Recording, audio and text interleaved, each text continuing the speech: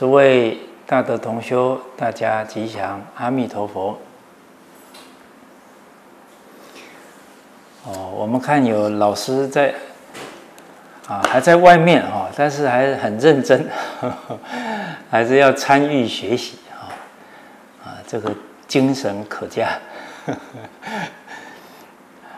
好，那当然了，学习呢，哎，不能着了相，打开书才是学习啊，打开视频。才是学习，那就有可能着了相了啊！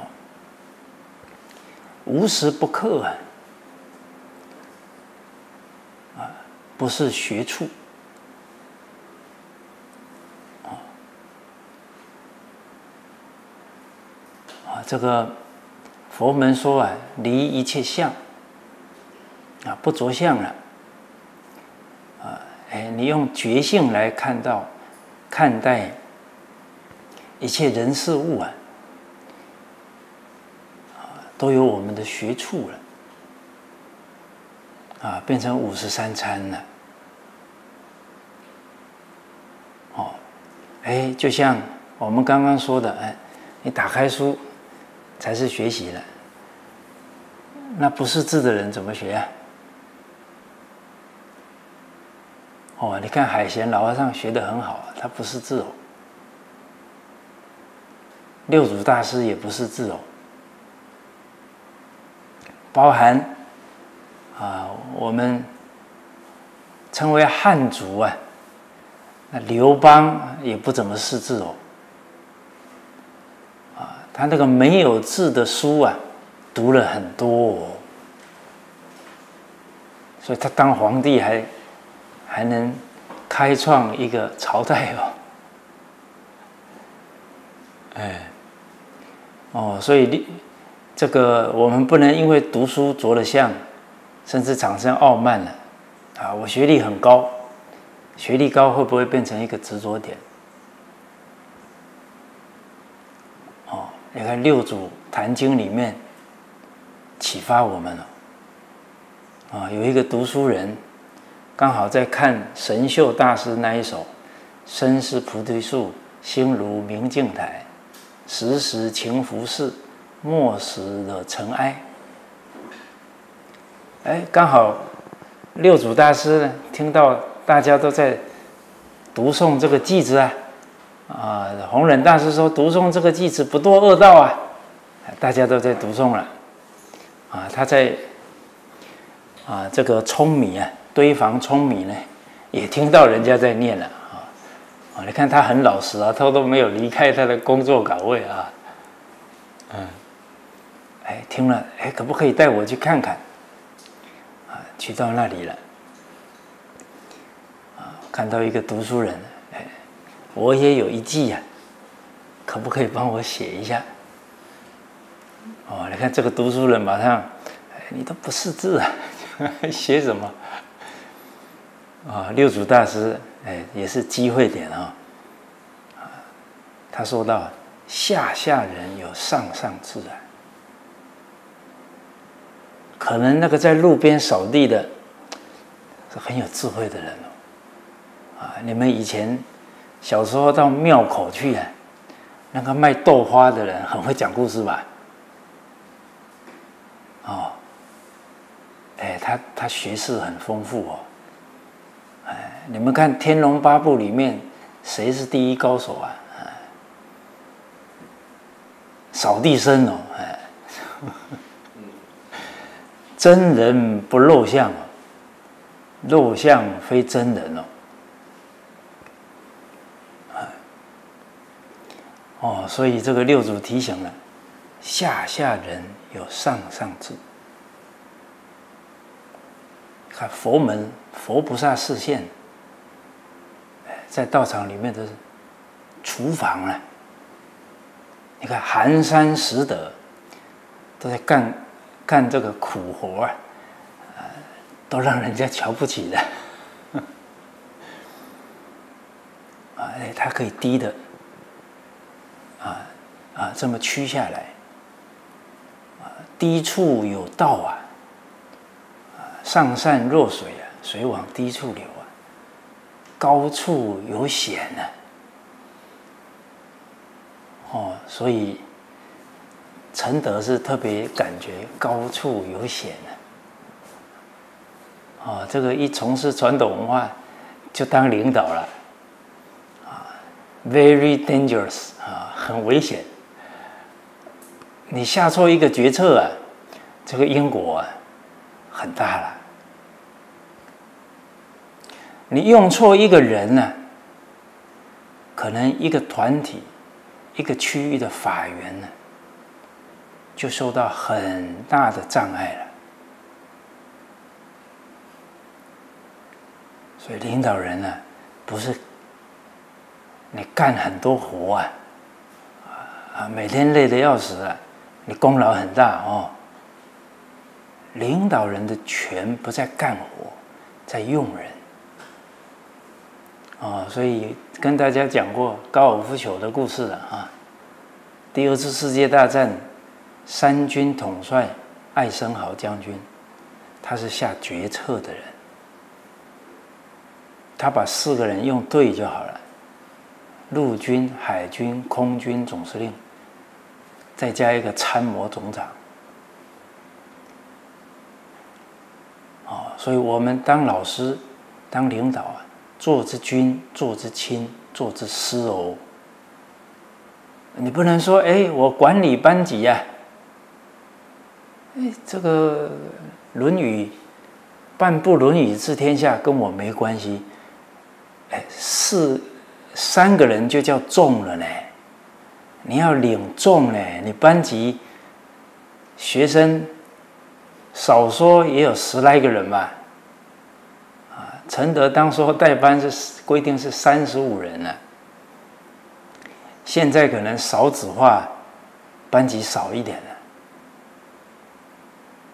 哎，你在一个班级里面，你就好像一个国王一样。哦，孩子为你马首是瞻呢。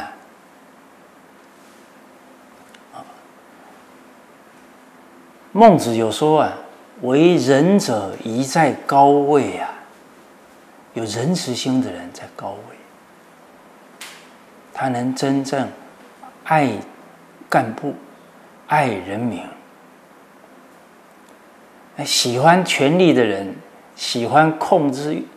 控制的人呢，在高位就很麻烦了。啊，这个控制的人很厉害哦，他对上对下态度不一样哦。对上哇，毕恭毕敬；对下颐指气使。可是当他真正握拳的时候，那以前的领导的话，他不见得会听了。我们要以历史为借鉴呐。好，孟子说的“为仁者宜在高位”，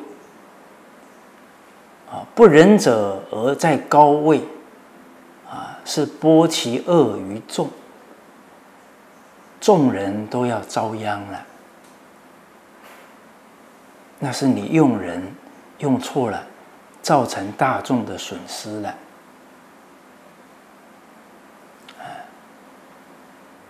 所以你用一个班长也要用对哦，不然你整个班级的氛围就不好喽。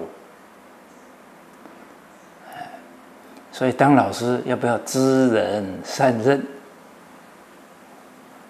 虽然领的重不是很大哦，但个中的道理是完全相通的。你在知人善任当中啊。无形当中也在教导自己的学生呢。啊，父母、老师啊，对孩子的影响是潜移默化，都在影响。哦，你看一个当老师的人，哎，有可能在学校里面也有很多家长。啊，上至高官，下至贩夫走卒的家长过来。我们当老师的人展现礼敬诸佛啊，不管他什么社会地位，我们都很恭敬。这学生看在眼里呀，勿产妇，勿交贫，勿厌故，勿喜新。啊，所以《弟子规》每一句都含摄了身教，含摄了敬教。哦，一个班级的氛围，一个学校的氛围，它是无形的，它确实存在呀。我记得我在班的时候啊，很巧，我接的班呢。都有四大天王这种因缘，我每天跟他们对招啊，使出浑身解数啊，其实挺 挺不容易的啊啊，他要装着啊羽扇纶巾啊，好像很轻松的样子啊啊，其实都不轻松了啊。那学生有什么变化呢？其实自己也不是很清楚，因为使出浑身解数 在应对每天的事啊，哎，结果同事啊，啊，他们是旁观者嘛，哎，有有时候就刚好啊，在图书馆啊，或者在那里遇上了，说：“哎，你们班学生变了呢。”我说有吗？他说有啊，你们班变得比较团结了。哦，你们班变得啊，比较会跟老师、跟长辈打招呼了。哎，我们在学校里面呢，哎，会遇到很多同事啊，啊，你看，带到操场排队了，沿路上遇到很多同事啊。我们很热情的跟同事打招呼，学生都看在眼里。所以不能着相说站在讲台叫教书啊，应该是一举手一投足都是到场哦，不能分别哦，不能着相哦。其实我们着了相啊，就不是真心了。啊，上了台是一个样子，下了课了，回到家了，另外一个样子了。那教书就不是，不是恢复真心的一个道场了。啊，学问之道无他，求其放心而已呀。我们求真实学问，就是为了恢复我们的真心了。我们迷失了自信了，啊，所以现在遇圣教了，啊，老和尚说学佛最重要的用真心了，啊，我们开始用真心了，叫始觉了，开始觉悟了，啊，我们本有如来智慧德相，叫本觉了啊。念念是觉啊，叫始觉和本觉啊，就能入究竟觉悟了。我们为什么念佛啊？深深唤醒自己呀，这也是开始觉悟了。啊，念佛的时候是始觉，跟孩子谈话也是始觉呀，真心为孩子好啊。是不是也是在唤醒我们的真心呢？哦，哎，诸位同道啊，我们在教孩子的时候啊，你有没有曾经，在啊劝导孩子，劝劝劝呢，劝到你自己很感动，流眼泪了啊？啊，哎，要感动别人以前，要先感动自己。哦，哦，那我们皆有如来智慧德相啊，但也妄想分别执着，不能证得。我们很容易起分别心，就执着了。你看分别，台上才是教学，这就分别，进一步就起执着了。哦，哎，打开书才是学习，又着在这个打开书才是学习了。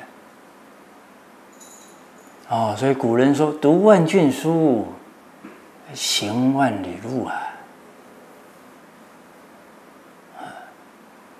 啊，所以六祖大师这些表法，是不是也在破我们的分别执着呢？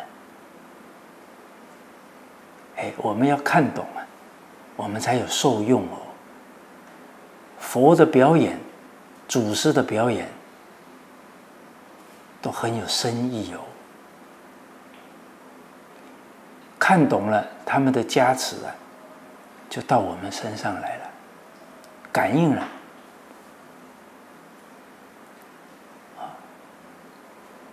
你看夏莲居老居士啊，老和尚说，在美国的时候啊，很多有特异功能的人啊，看到夏老的照片，这个人是透明的。结果夏老，你看修行很高哦。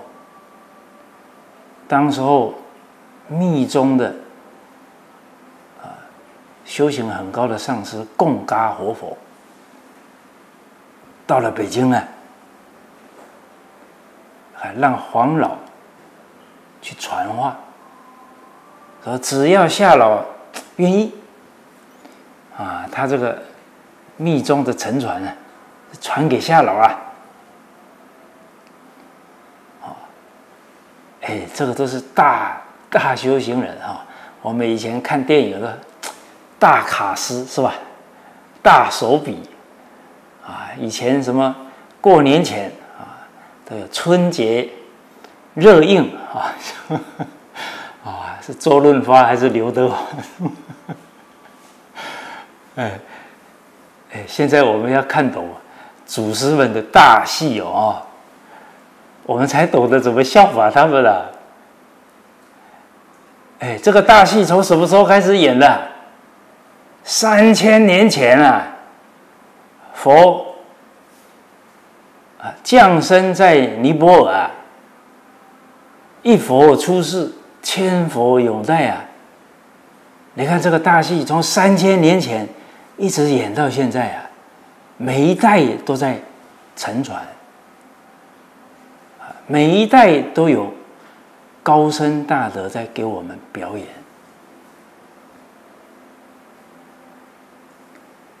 这些表演的人，都是入了法身境界啊，都是无缘大慈，同体大悲啊。你看，我们是多有福报的人。啊，你把十三祖的教诲一打开来，身心清凉啊！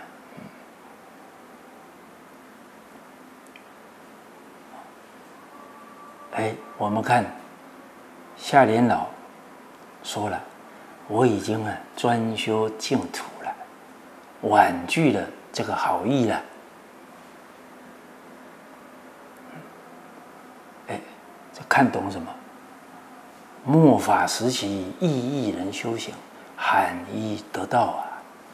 唯一念佛，得度生死啊！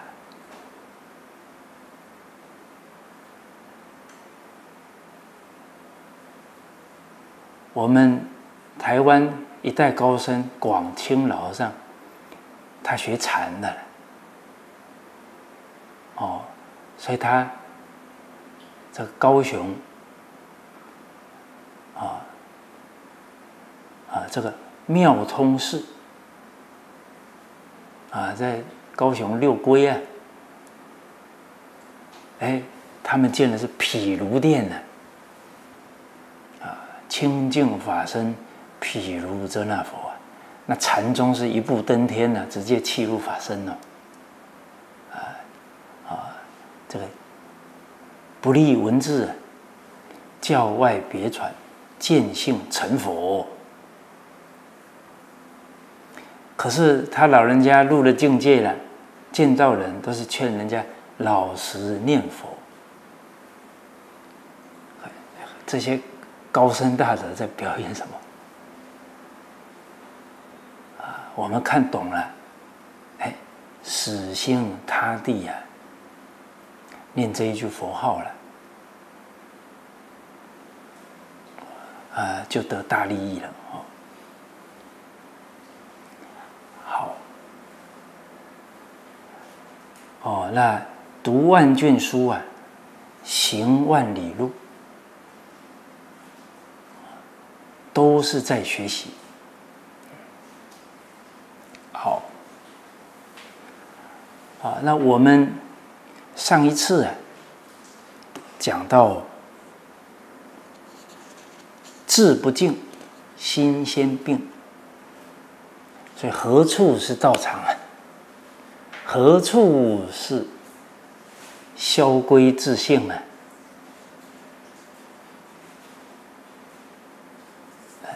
处处是啊，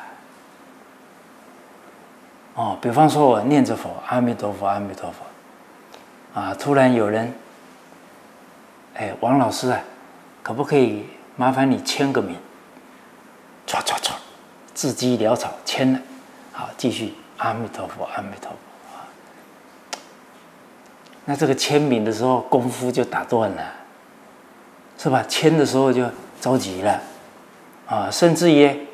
还没签以前，你看冤亲债主来了啊！我本来念的挺好的，啊，又来干扰我了啊！哎，这个心就不是礼敬诸佛，功夫打乱了。哦，我们为什么功夫不能提升？进进退退，啊，这个不间断是关键的。读书法有三道：心、眼、口、信，皆要专注啊！哎，什么时候要专注啊？读书而已吗？哦，专注要变成习惯了，anytime anywhere，那功夫才能成片呢。哎，功夫成片不是念佛的时候功夫成片的。应该是真心要成片的，念佛是深深唤醒自己啊，做事也是唤醒自己啊。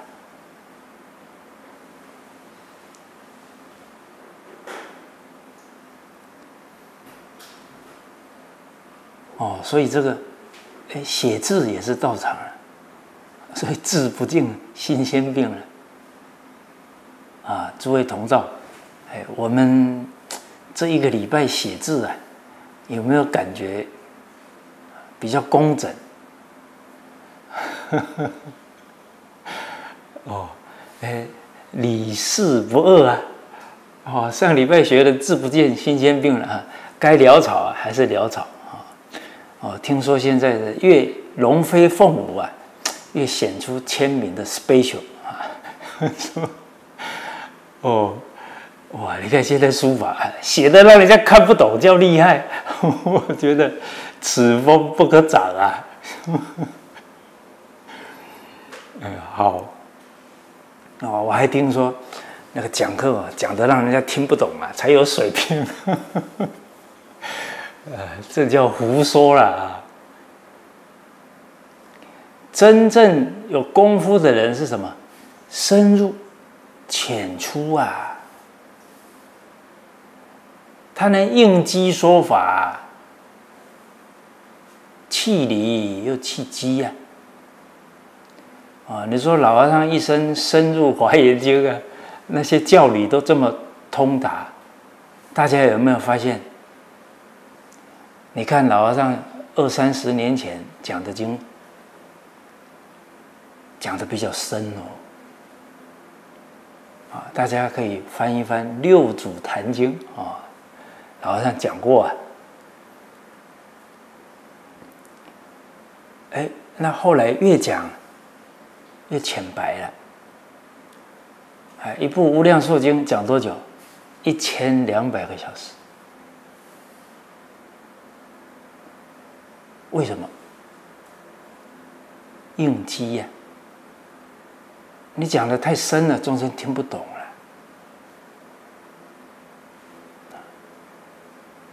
啊，现在有一批人呢，看到文言文就头痛了，他不熟悉了。啊，你在讲课的时候，子曰子曰太多了，他他就发头就发胀了。啊，所以有一次，二零二零年三月呃二月底，我在马来西亚，啊，刚好有一次在庭院啊，那个时候是新冠期间呢，室内还不能聚会，到了庭院，啊，有一个女士啊，她说。我们听陈德法师讲课啊，啊，只能听懂三十 percent 而已了，啊，啊，我当时傻了，哎呦哎呦，这个太惭愧了，浪费他七七十 percent 的时间，哎，气理不气机啊，叫闲言语啊，就浪费别人的时间了，气机不气理啊，叫魔说法了。哦，你看畅销书第一名、第二名啊，谈的都是追求财色名利的，那可能不是政治正见了。可是很多人看呢，为什么？相应，人的心急功近利了，哎，讲这些特别认可。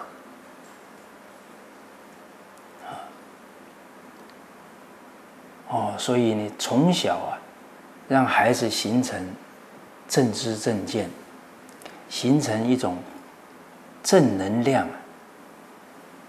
哎，他遇到邪的东西啊，他不舒服了。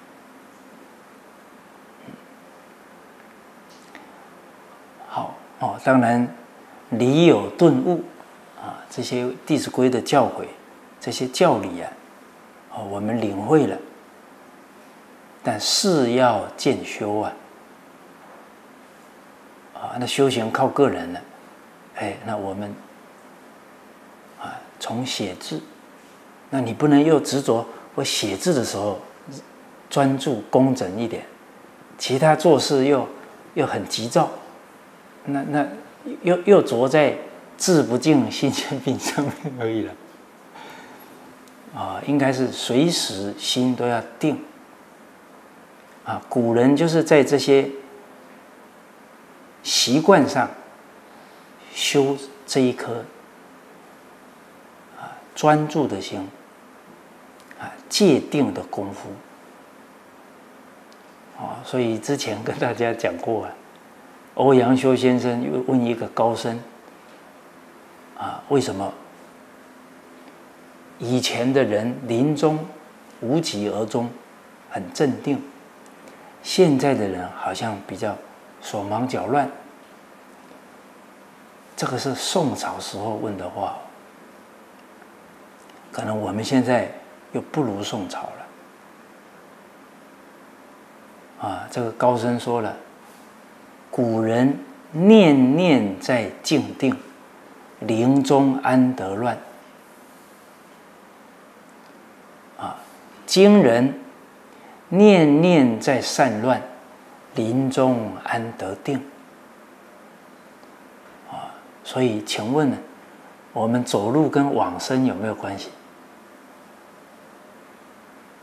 我们写字跟往生有没有关系？我们讲话跟往生有没有关系？你讲话都这么快这么急，这个心都是。慌张的，那临终安得定啊？哦，所以李老特别强调，这些生活习惯都是为了培养一心不乱。哎，这个开示啊，这就很精辟喽。啊，能遇到这样的善知识的开示啊。都是我们很大的福报哦。啊，现在给我们讲这些大实话的善知识不多了。哦，现在维持道场不容易哦，可能都讲好听话给信众哦，啊，怕他不来捐款了，不来扶持了。哎，无欲则刚哦。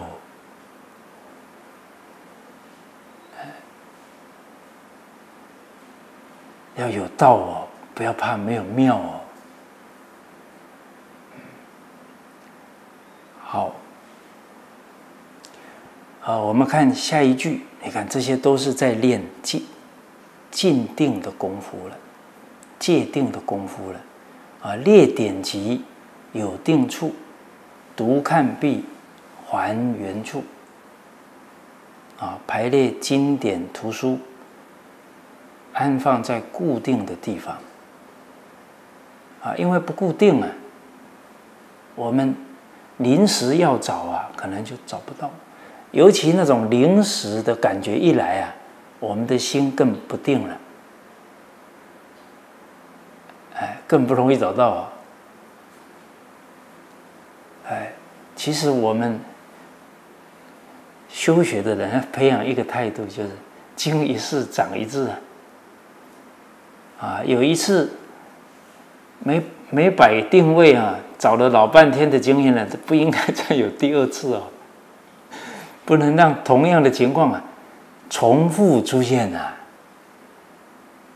哦，所以这个我们要效法颜回了，啊，不二过。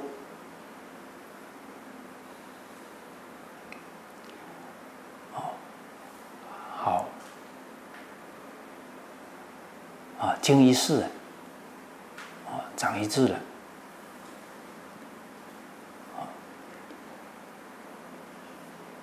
好，这个修行人呢，警觉性高啊，不要出现执着点，啊，比方说啊，我们在摄影棚啊，啊，一般啊，冷气就开一台，不会不能执着开一台啊，假如今天刚好。进来摄影棚的人多啊，就可以再开另外一台，啊，呃，都不能出现执着点啊。这东方的东西活的，不是被公式的，好，好，大家了解我的意思吗？啊，因为我有点热了，哦，好，哦。好好，这个都要应对应对，好吧？哦，无有一法不是佛法啊，连开冷气都是佛法。啊，你你离相了，不执着了，都是佛法。啊，你执着了，就生烦恼了，什么？哎，啊，你你有点生气了。就是烦恼了啊！到时候还骂人啊，功德全烧掉了。哎，哦，所以这个父母、老师啊，任何时候不能动情绪啊。要教孩子，就不要动情绪。有情绪了，先不要教孩子。甚至啊，你有情绪了，不要去找人沟通事情。因为你带着情绪啊，沟通效果会很差，甚至会啊反效果。要心平气和，则能言。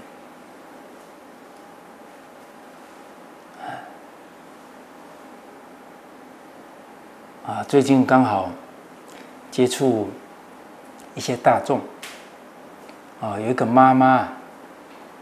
啊，我一看他很瘦，这个额头啊，这里的血管都浮出来了，那个都是太累了，心脏都有负荷了，真的是可怜天下父母心啊！又要工作，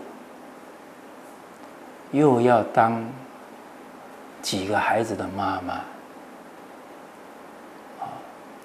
哎，先生刚好又。没工作，哇，你看那个压力很大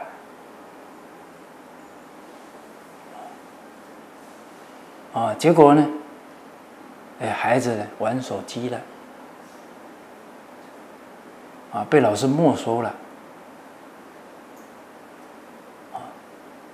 哎，结果啊，他就说了，这个事情啊，是我先生把手机拿给我孩子的，这事应该是他去处理呢，怎么是我去处理呢？啊，作为仁者，他讲的有没有道理？有没有道理？什么是理呀？心就是理呀，心跟真心相应的才叫理呀，理体呀。家不是讲道理的地方啊，家是包容的地方。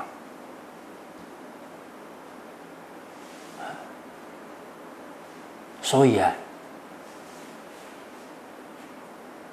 我们都希望家庭变好啊。怎么变？佛法讲的透彻啊，医报随着正报转。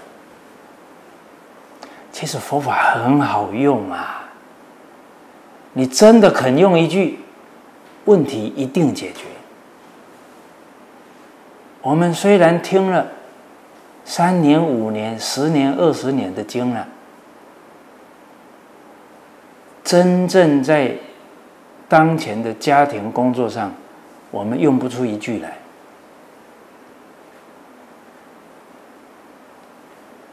哎，这是我们要看清楚的地方啊！而且听越多，越用不出来。为什么？因为没有用啊！不力行，但学文，长福法。福法一长，更用不出来了。听的理越多，越看别人错在哪儿，向外越强啊，拉不回来了。啊，若真修道人呢，不见世间过啊。家庭里面呢，大家的目标是一样的，跟团体有时候还因缘还有差别。你所有家里的人，谁不愿意家庭和乐？谁喜欢吵吵闹闹？你们目标是一致的。可是团体里面有些人要谋自己的名利呀，那这个时候。这个历史当中，啊，你看范仲淹这些人就要出来阻止啊，这样才能君子道长啊，小人才能道消啊。可是你家庭的缘不一样啊，家庭就是为 为为了这个幸福快乐的目标啊，所以家庭是。讲情义的地方啊，不是讲理啊，讲理就伤了情感啊。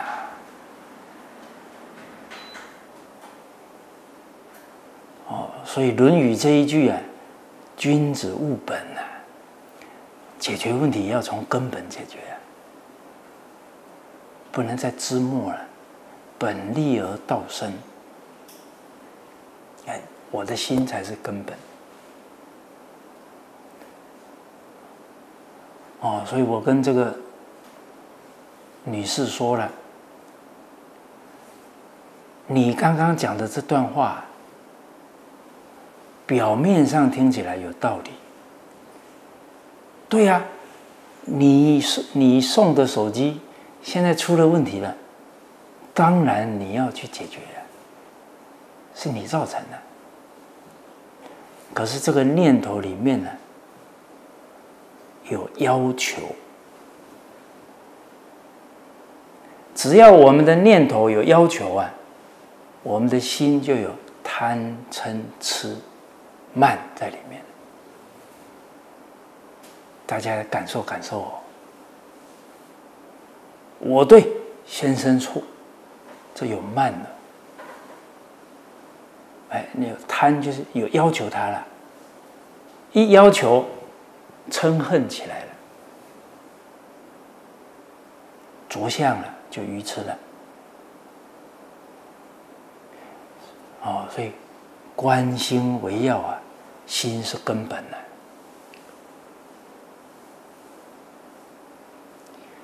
真的，啊我们没有回到这个根本上啊！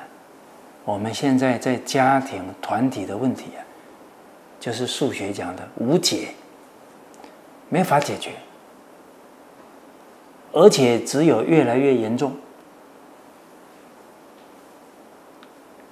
身体有问题了，不治疗，越来越严重啊！心理事情同样的道理啊，我就见过。团体里面呢，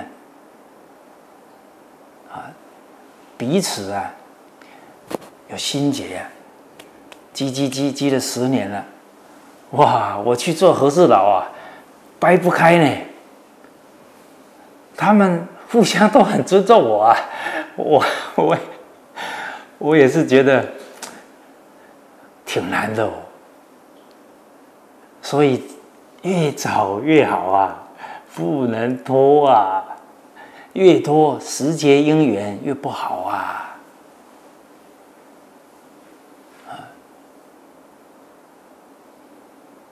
哦，所以我提醒他了啊，你这个对他有要求，人跟人的心呢会互相交感，你有要求的心出来，他就要求你。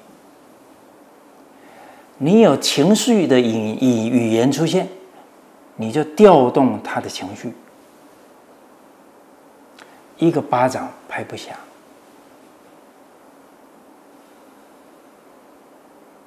哎，他又说了，啊，他说，我跟他讲啊，你看你在孩子面前啊都没有父亲的威严。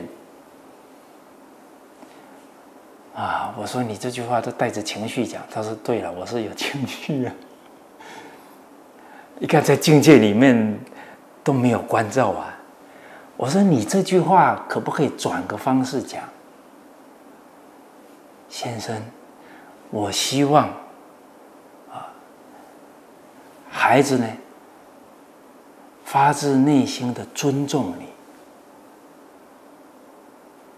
你看，这不是同样要表达的意思吗？可是听起来一不一样？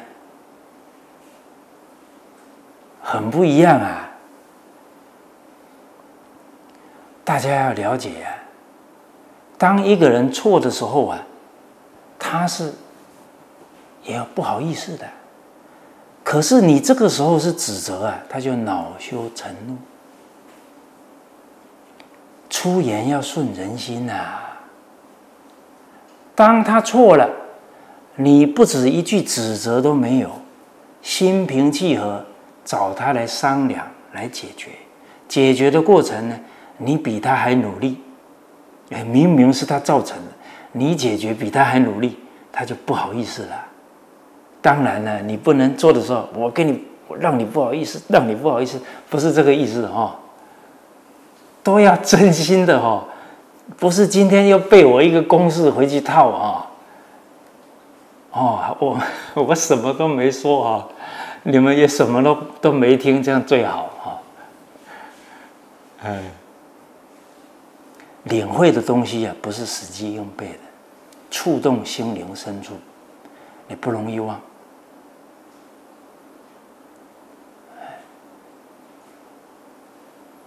哎呀，事情真的是我错了，好，我们能有这个体体会到啊，你人就不一样了。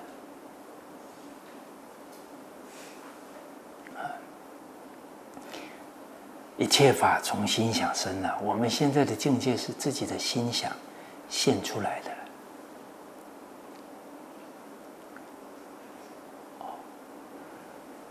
我最近接触几个家庭啊我感觉同样的情况啊就是大家都在指责谁错了。哇那真的是无解的。题目了。哦，所以古人留了两句话啊：各相责，天翻地覆；各自责，天清地宁啊！看反省了。哦，比方说对方错了。我们还先反省自己呀，对方就感动了。家不是争对错的地方啊，成年人的善根不是我们要求出来的，这一点真的要看懂，要看破，不然我们那种一直要说服别人、要求别人的惯性呢？真的扶不住了，一遇到境界，这个惯性就就现前了。我们是学圣教的人哦，圣教是内学，向内。我们一抱怨呢，就是向外。所以我们不能讲外行话哦。哦，你看老和尚说，最佩服孔老夫子，啊，最佩服老祖宗的一句话：“行有不得，反求诸己呀。”很有道理啊。啊，因为万法因缘生呢。因在我们身上，清因缘呢？所有外在是属于我们的缘分。因在我们身上啊，我们身上有十法界的种子都有啊。哎，我们每天清净老和尚，哎，我们佛的种子就掉出来了。哎，往生西方极乐世界做佛啊。种子都掉出来了啊！我们就像接下来要讲“非圣书秉物事”啊，我们都看一些让心神散乱的啊，会燃起这些五欲六尘的，那这也是我们自己去选择的啊！因为一个人要去接触什么因缘，那是自己可以掌控的了。那怎么还能怪别人？因是自己决定的，缘也是自己去接触的。啊，你看所缘，你自己去接触的。无间，你接触一个好的缘，你又没有间断呢，也是自己决定的。再来真上缘，啊，逆真上缘也是自己的心态决定的。忍辱仙人遇到歌利王，他也把他当真上缘了，所以他快速提升了，也障碍不了他。所以佛门这个清因缘、所缘缘、无见缘、真上缘，这个理给我们开的很透了哦。哎，万法因缘生哦。要不要从小让孩子懂得观察因缘？哎，这不用花很多时间哦。哎，今天发考卷了，哎，哪个同学成绩好，铁定了有他的因缘的。哎，分析给同学们看，你看同学，同学们，你看这个同学，人家都不玩手机呢。人家一有时间就看书了，哎，啊，把这个因缘果啊呈现出来了，都是机会点哦。啊万法因缘生，这句话在哪里啊？哎，一个同学肚子痛了，也是因缘所生法。你看你平常又吃泡面，又喝汽水，你看整个脸都是青春痘，什 么都是毒素排出来了。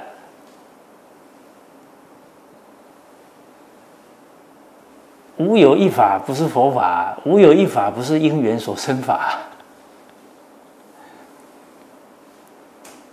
好，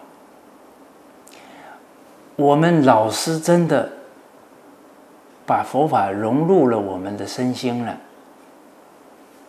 啊，把《弟子规》融入我们身心了，那真的是可以头头是道，左右逢源的。信手拈来了，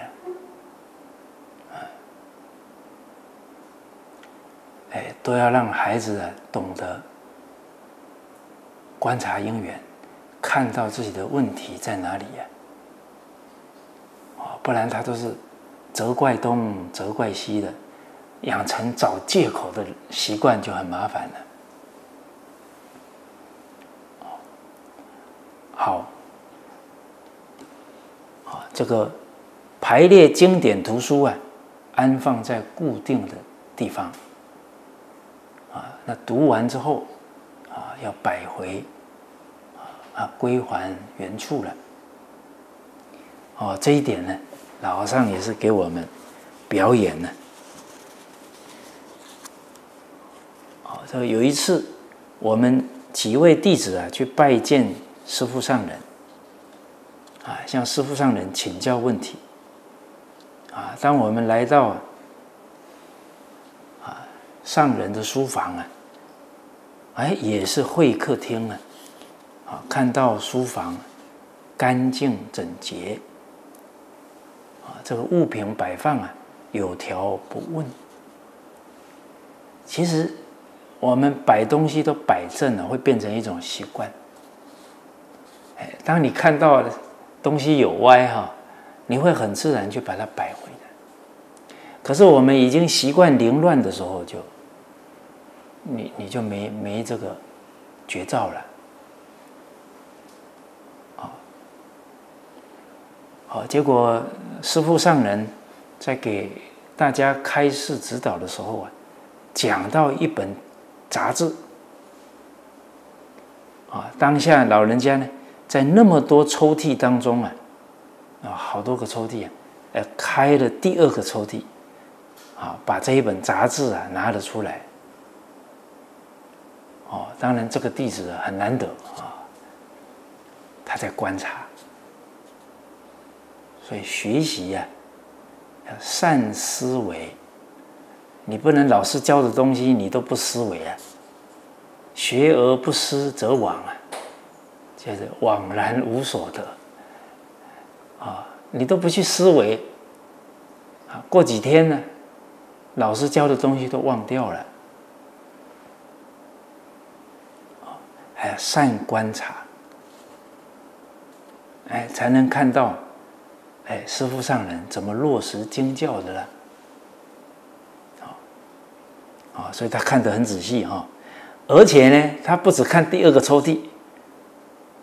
他还看进抽屉里的状态，就哦，看到啊物品啊放置井然有序，八十多岁高龄啊，要找什么样的东西啊，都能做到心中有数。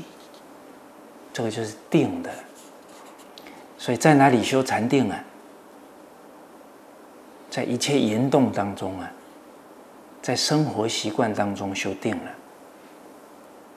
这种在生活中养成的界定，所呈现出来的清净庄严，是我们晚辈啊要努力去效法的。啊，哎，这个学生就善观察，他的内行人看门道了，外行人只能看热闹了。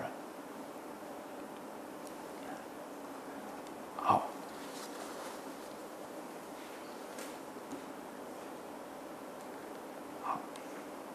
这个独看壁，还原处。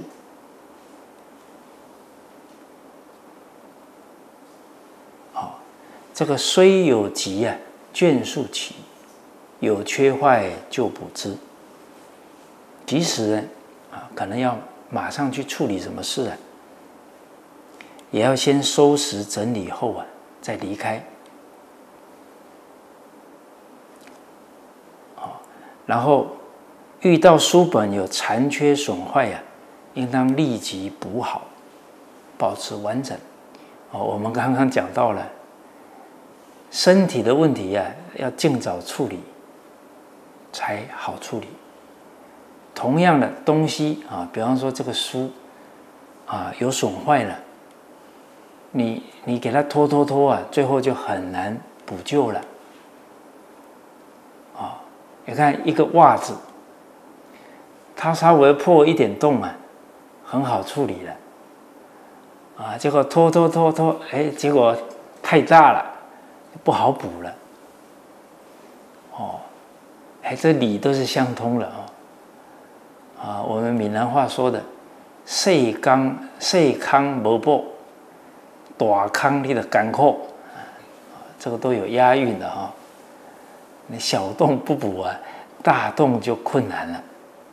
啊，不只是补东西了，处理事也是这样啊。人与人之间有点小摩擦，要去化解呀。啊，你不能到冲突很大了就不好化解了。哦好，那另外一位啊，我们马来西亚的护法啊，他就提到啊，啊，他跟先生到新加坡接老法师啊，这些护法都很恭敬啊，老人家要到马来西亚，他们就亲自来接呀。啊，当时大家准备要离开啊，黄老板酒店到吉隆坡。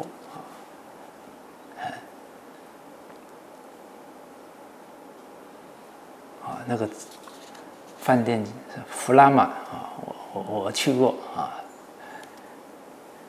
哦，他们很护持老和尚的理念啊，我参加过几次啊，宗教团结的啊，都是他们提供场地的，啊，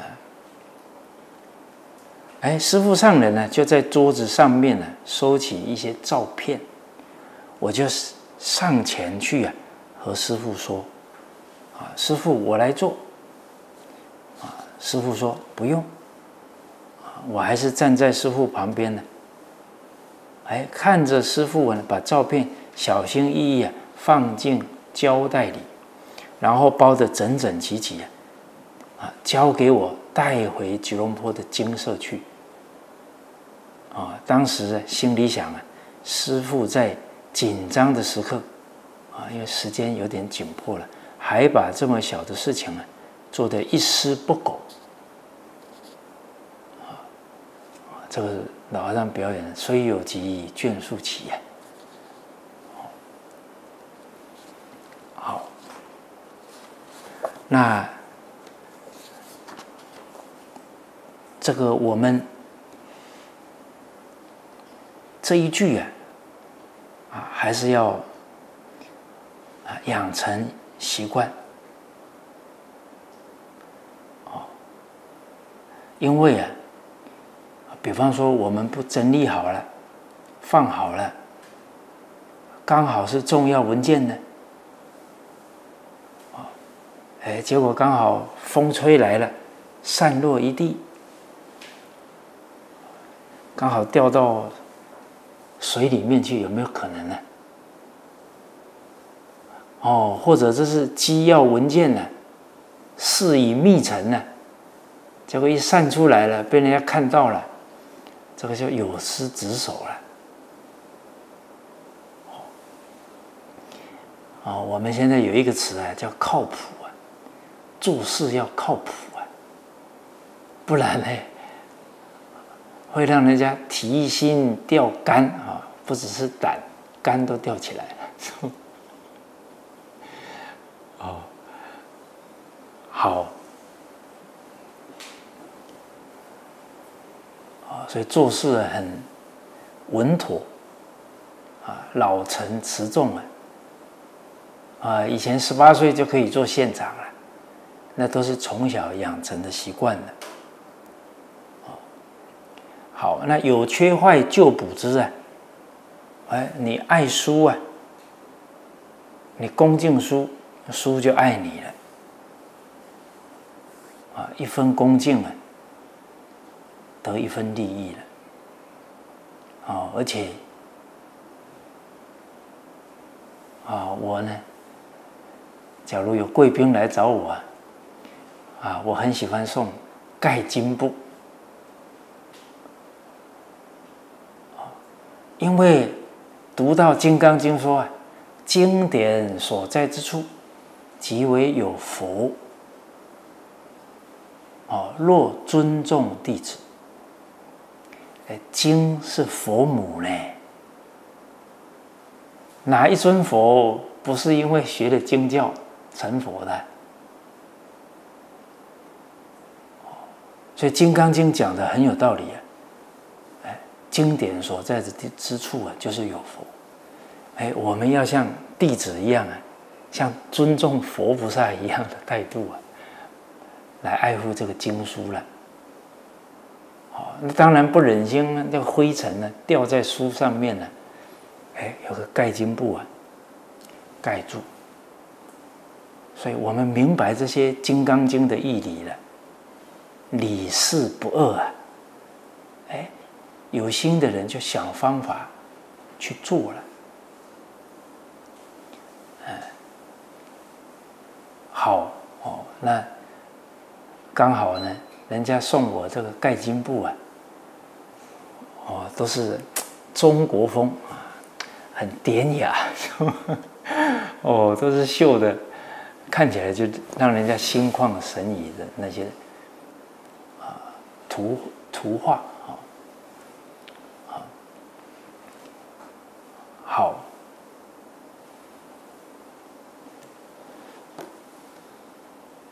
好，我们再看呢下一句啊，这个非圣书，秉物事，必聪明，坏心智，勿自暴，勿自弃，圣与贤，可循之。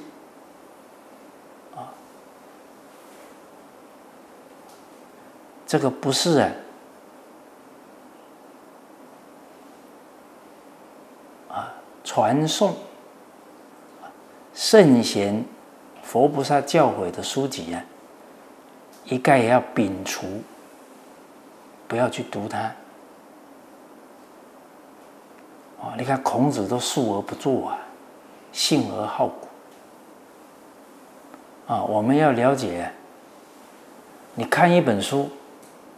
你还不能判断他的是非善恶，还不能判断他有没有分别执着！你一看就受他影响啊！我有一个同学，我我有一点小 lucky 啊，就我是小时候不喜欢看书，哦，后来遇到老和尚呢。把我敲醒了，啊，比较主动看书了。哎，都是听他老人家的教诲啊。当时我到师范学院呢补教育学分呢，读了一年书。我们有一个同学啊，从小爸爸妈妈不在呀，他就在书堆里面长大的，很喜欢看书啊。一看就是喜欢看书的气质，可是呢，我每次跟他谈话，啊，他也有很多问题问我，啊，我都给他分析啊，给他一些答案啊。有一次啊，他就很认真的跟我说啊，啊，他他，我们是啊。很好的同学嘛，他叫着我的名字，啊，吕旭啊，啊，我的脑子可不可以跟你的脑子换一下呢？哎，他觉得我在思考问题很简单了，当然简单了，万法因缘生，不然你要怎么思考？哎，不要把简单的事情复杂化。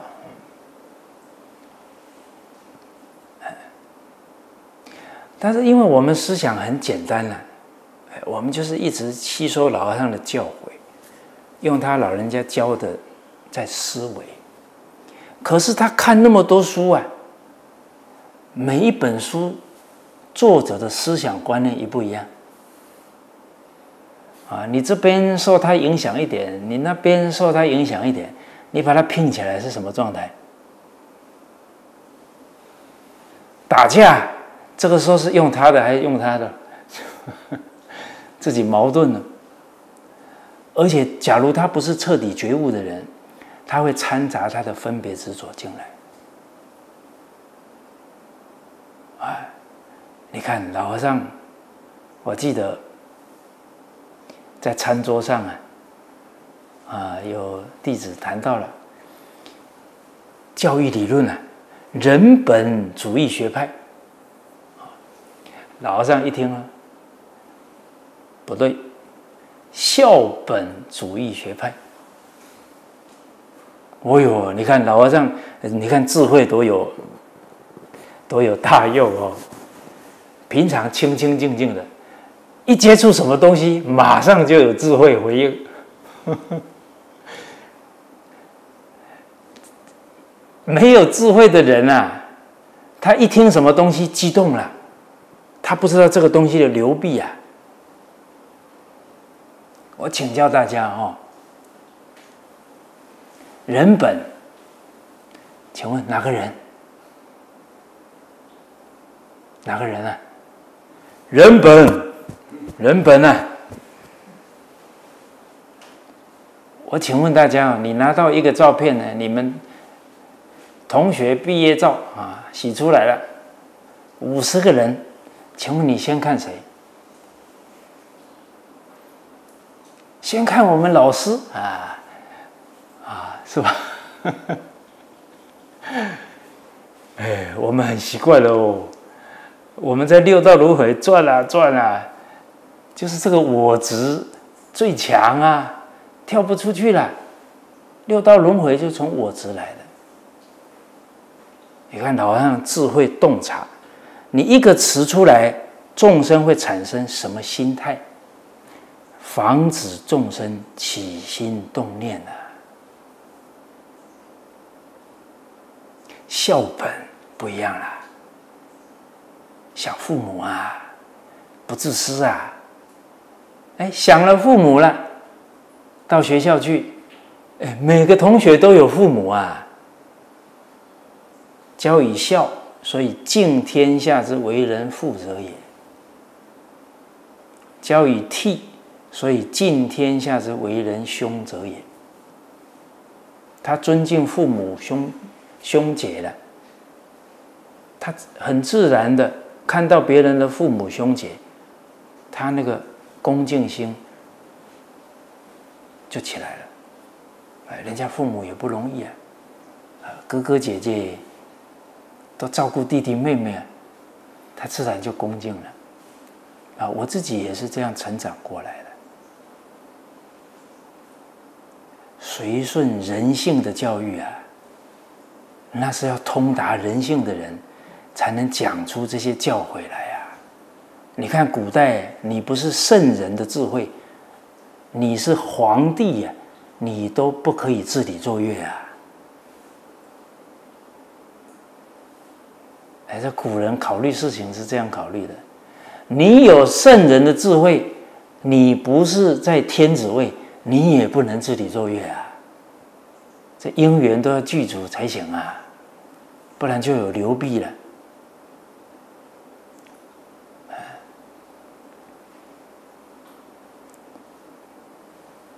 好，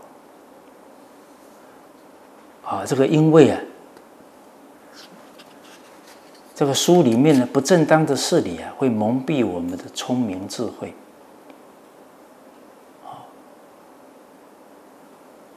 而且会败坏我们呢纯正的心智。哎，本来你看都很有志向了，哎，看了不好的书了，游戏了，玩物丧志了，哦，孩子都还没有定性哦，所以要护好他呢，不要说他污染。啊，我现在看家长都是指责孩子不要看手机，不要看手机呀。哎，要注意哦，我们看不看呢？啊我有见过，手机在前面，孩子不碰，为什么？他的父母只把他用来办公事、办事用的。不是拿来玩的，他家庭里面就不是这样的氛围了。啊，你说家长都变低头族了，你让孩子不玩，我看不容易了。他每天就是这种氛围在熏染的。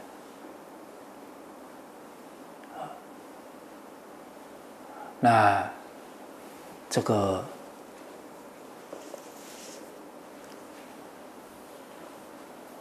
我们要护孩子啊，一定要先护自己啊！自爱才能爱人呢。哎，大家慢慢去体会这一点哦。我们是用我们的明明德啊去清明。今天我们当父母、老师的，察觉不到自己有偏心呢。我们能爱得了孩子吗？爱得了学生吗？我们偏心了，我们就不是用真心了，我们就不自爱了。你看，勿自暴，勿自弃哦。什么叫自暴啊？我们不要听到自暴自弃，就是喝酒啊，啊，这个放纵自己呀。那个是更严重的啊！孟子告诉我们：“言非礼义，谓之自暴。”我们言谈不符合礼义呀，就是自自暴了。我们自己没有行在仁义当中啊，就是自弃了。哎，听起来很有道理哦。你看，我们住进佛门，第一是三皈依哦。皈依自性觉正境啊！我们的一言一行跟仁义、跟自性不相应了，我们在糟蹋自己了，自暴自弃了。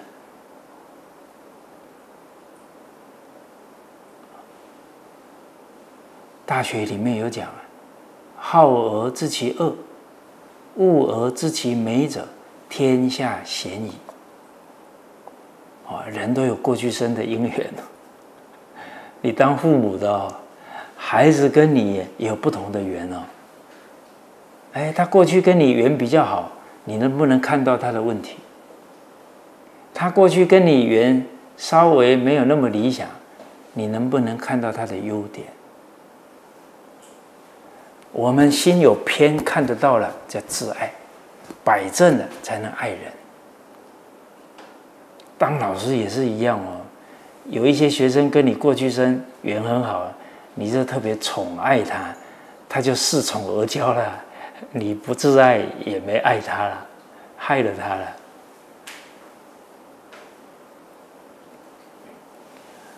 好，那我们要爱自己呀，那就不能让自己啊受污染。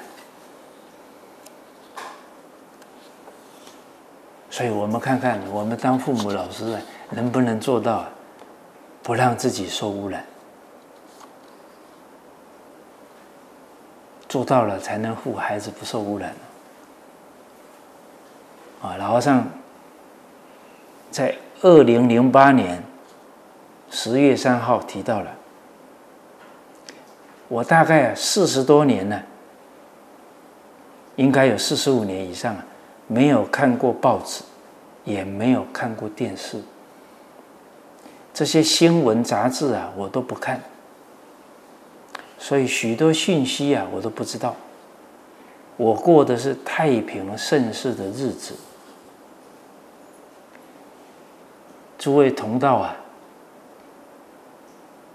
我们想不想过太平盛世的日子？心里很平静啊！啊，现在共业很强哦，共业中可以有别业哦，那还是我们控制的哦。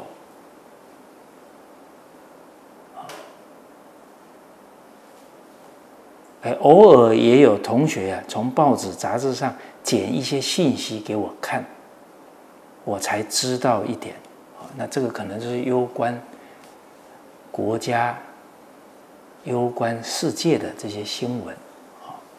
其实这种大新闻呢，你不看你都知道，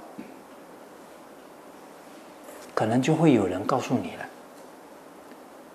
啊，我们今天的社会啊，世尊在三千。年前就看到了，而且看得很清楚，了如指掌。就是这个《经无量寿经》啊，第三十五品，浊世恶苦，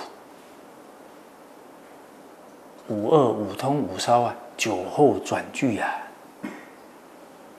哦，所以我们真正学佛的同学，每一天受到佛菩萨的教诲，佛法的熏陶。对于这些事情啊，应该不受干扰。所以佛法里面说：“心静则国土静，心平则天下平，心安则众生安。”这个班级就是我们的天下。老师的心很安定啊，学生的心就跟着安定了。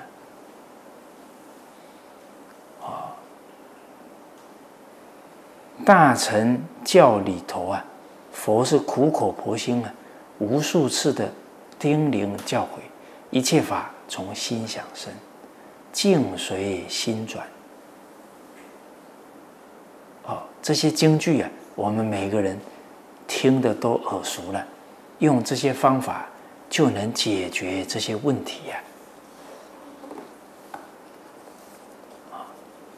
外面再怎么染污啊。我们还是可以做主宰的。他外面再染污，我不接触，我就不受他的染污了。哦，所以不能把责任推给境界哦。好，那这里谈到看书了啊，啊，刚好有一位啊张学长啊，他有问到。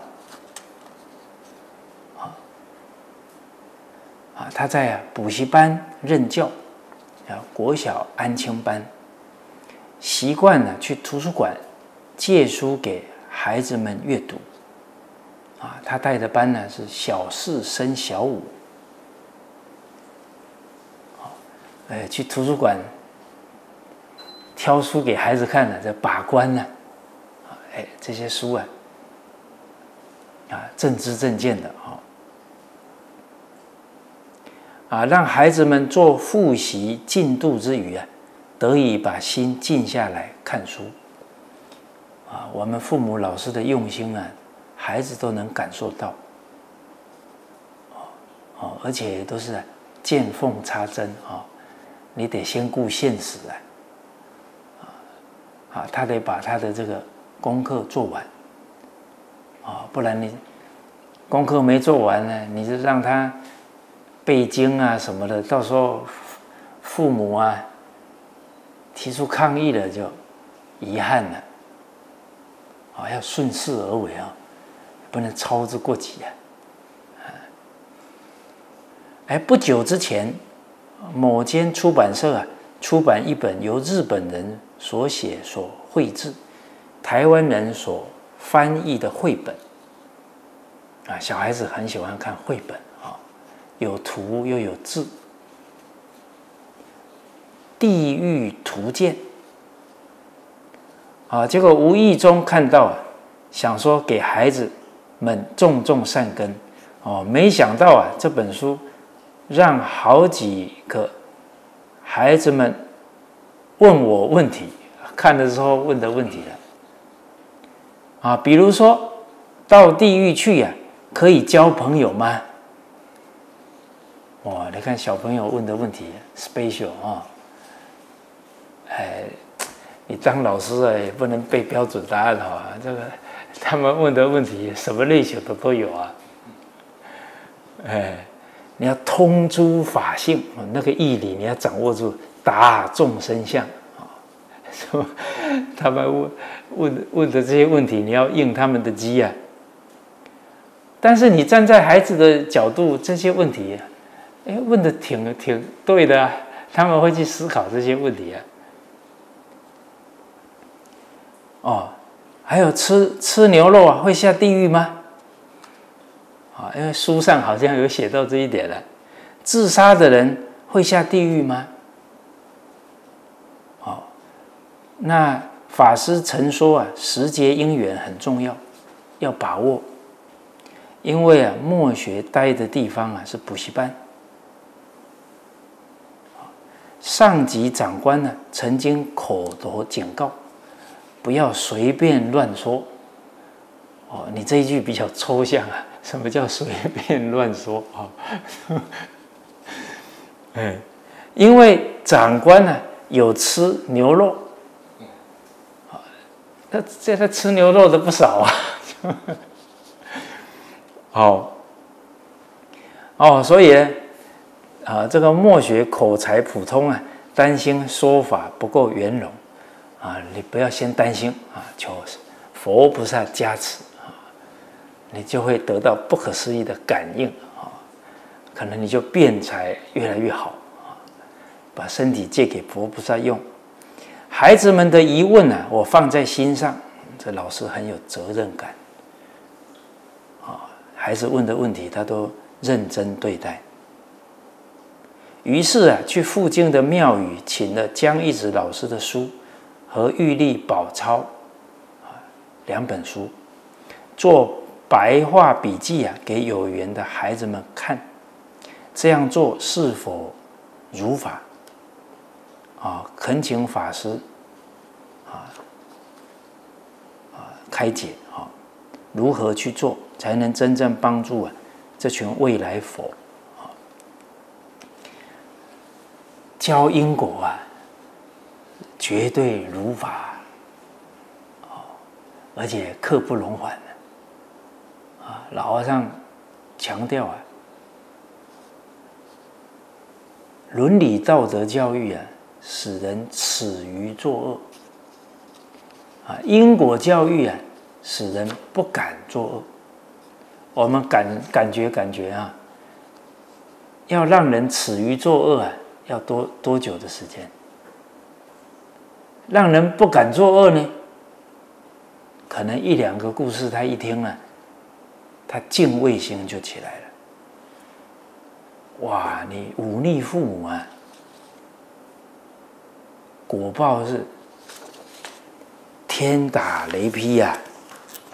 这个古今中外啊，都有这个故事啊。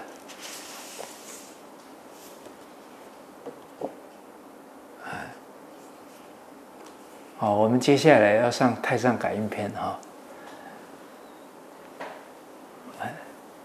所以老和尚讲了，要把因果教育摆第一位了。好，啊，但是毕竟呢，你是在人家的单位服务哈，那他假如没有跟你说。不能讲因果，那你还是可以讲啊。哦，而且你可以跟领导沟通啊。啊，现在的孩子假如不懂因果啊，他肆无忌惮的，什么事都敢干的。啊，哎，从事教育工作，哎，应该都有利益学生的心呢。哦，当然，你首先呢。要称赞如来，啊，你说这个这个啊，老板啊，补习班的老板，你看你现在呀，这么有财富啊，就是你很慷慨啊，啊，你种了这个因啊，得这个果，是吗？哦，财布施得财富啊，哎，你也用因果啊赞叹赞叹他。哎，你假如怕太宗教的味道啊，那你可以避开，因为有时候学校啊特别忌讳你传教。我们呢做什么事也要审审时度势，用什么讲？用儒家来讲，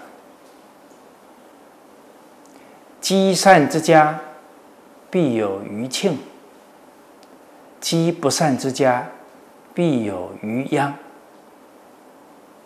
哎，这个还可以举历史的故事啊。一般讲儒家呢，他不会当宗教。第二，你看《尚书》讲：“做善，降之百祥；做不善，降之百殃。”啊，我们都以啊对方能接受的去谈。啊，有一句俗话叫“山不转路转”。路不转人转啊！你不要去触碰他的禁忌就好啊！你假如有不同宗教的，有时候你常常用佛教的词啊，有可能刚好那其他宗教的家长他他可能就不欢喜了。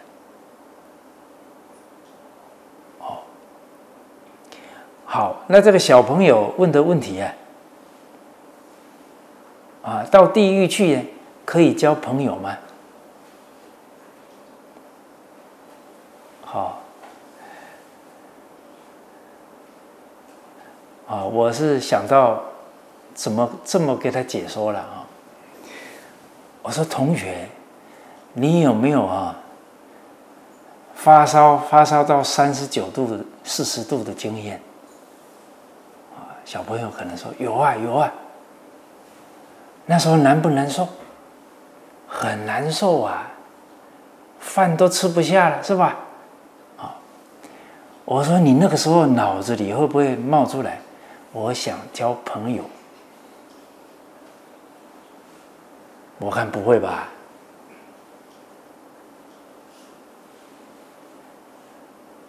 哎你痛苦的要命了，你怎么还想交朋友啊？你只想着了，哎呀，哎呀，快点退烧吧，啊，哎呀，赶快不要让我这么痛苦吧。因为三恶道啊，是受报的地方，尤其地狱，他的痛苦啊，叫无间地狱啊，没有间断呐，苦到哦，阿罗汉呢。他修行啊，能够看到他前五百世哦，光是想到他以前到地狱的情况啊，他不是去受哦，他只是想而已啊，流血汗呐，所以不能造地狱业哦，你造了那个因呢，你就要去受报了，不能造。好，这个是提到交朋友的问题第二呢？这个吃牛肉啊，会不会下地狱？你老板是吃牛肉的，不要那么敏感啊！啊，你就跟孩子说啊，你看那个牛啊，你你你拿树枝戳它，它痛不痛？啊，那你拿人家拿树枝戳你，痛不痛？所以它只是形体跟我不一样啊，它同样都有知觉呀，连蚂蚁都有知觉了，更何况是牛啊？啊，它们都是有灵魂的生命啊。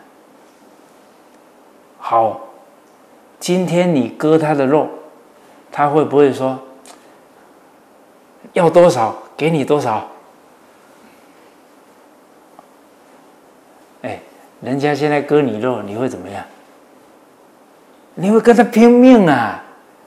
问题是牛没办法跟你拼命喽。可是他很痛啊，他会记恨哦。他记恨，假如下一辈子哦，突然转变，变成你身边的人，你看他会怎么样？他报仇啊！哦，所以同学，你有没有看到哇？现在世间的人，哎，怎么亲戚朋友互相伤害？那个是结果啊，原因就是前世啊。有种下这个恶因呢，所以大家知不知道战争原因是什么？是因为吃肉啊！你吃他肉，他很生气呀，找机会报复了，就太多人吃太多肉了，最后就造成战争了。啊，欲知世上刀兵劫，但听屠门夜半声呢。所以今天你很仁慈啊，你都不伤害众生啊。你在战场当中啊，子弹会转弯呐，打不死你哦。哦，这个我是有电影证明的。啊，美国一个士兵啊，他到韩韩国战场。面对日军呢，他很仁慈啊。他本来要逃逃离了，看到那么多战友啊，他不忍心，又跑回来，好像背了六十几个人。哇，人家都枪林弹雨呀，他背了六十几个人都没有被打到，他没有造那个因呢，他不受那个果报啊。哦，所以这个是，就是让，哎，你没有说，你没有说吃牛肉下地狱啊，就这句话没说啊。我们是引导孩子啊，你去感觉感觉动物的，它有灵知啊。哦，你可能吃它半斤啊，还它八两。好，自杀的人会不会下地狱呢？哎，你可以引导这个孩子的，每个人自杀的状态也不一样。有些人，人家要侮辱他，他守节，啊，他致敬，那个不会堕地狱哦，那个是有正气哦。哦，你看我们出家人的衣服啊，啊，这里都有。两个袋子啊，这是绑戒刀的，这是有典故的。哦，有一个沙弥，哦，可能还没二十岁，啊，都有戒戒刀啊，啊，有女子啊要逼他就范，他不愿意破戒，他自尽。你看，宁肯守戒而死啊！他都不犯戒啊，因为在人家家里啊，人家势力大了。哦，那这个这个是升天哦，甚至于更殊胜都有哦。啊，但是假如啊不是这样，哎都没考虑父母了，然后就。闹脾气了，啊，甚至于现在更严重的威胁父母，父母把他的手机拿走了，他就威胁父母：“我跳楼。”还有真跳的哦，那你看他那个心的状况，威胁父母啊，那他这个就要堕地狱了。所以人堕哪里啊，是他的心决定的。一切法从心想生，极乐世界是自己的心想生，地狱也是自己的心想生。你看，我们透过孩子的一个问题啊，你也可以用他能理解的语言告诉孩子：贪心堕恶鬼，嗔恨心堕地狱，愚痴堕畜生。哦，你看那畜生都没有羞耻心了，他就愚痴了。哦，这些部分呢，哦，当然畜生也有他，有时候他的善根出来，羔羊跪乳啊，乌鸦反哺，哦，好，哦，那这个问题啊，先跟大家交流到这里。好，今天我们就啊讲到这里，谢谢大家，阿弥陀佛。